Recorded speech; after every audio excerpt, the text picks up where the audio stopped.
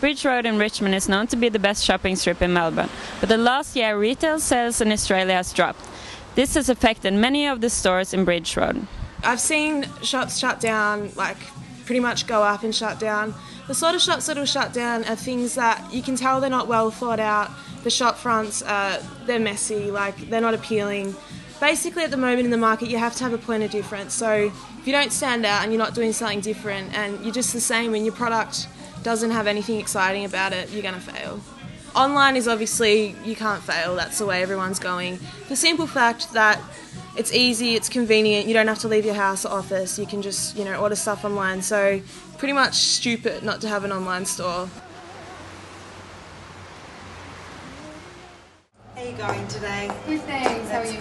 good. Uh, just so you know, there's 30% off all the full price stock. Yeah. If you need a hand with sizes or anything, just let me know. Because of the online options available to people, they uh, they're more inclined to shop from the comfort of their own home. Coupled with the economy at the moment, it's not um, you know they're, they're opting for the cheaper options online because it's um, it's more viable for them to get the bargains that they that are available there, as opposed to coming into a store and wasting time and you know it's just it's not I don't know shopping isn't what it used to be anymore. Have a great day. So, what do you think about the retail market in Bridge Road?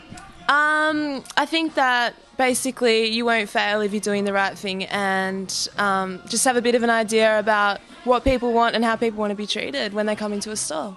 Many stores in Bridge Road has closed down, others has really low retail sales.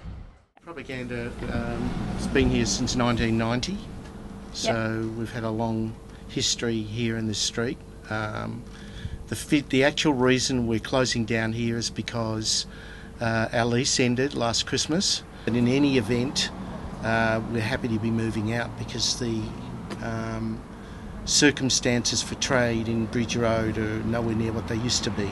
We've noticed that the traffic flow numbers, the amount of people coming down here is a hell of a lot less than before. The biggest problem is that the street, the image of the street is changing. Um, and then the other, the economy is not good. Tourists aren't, there aren't as many tourists. Um, and uh, the, the, the net is having an effect because people are buying online. This is Therese Soltveit reporting from Bridge Road to Deakin News.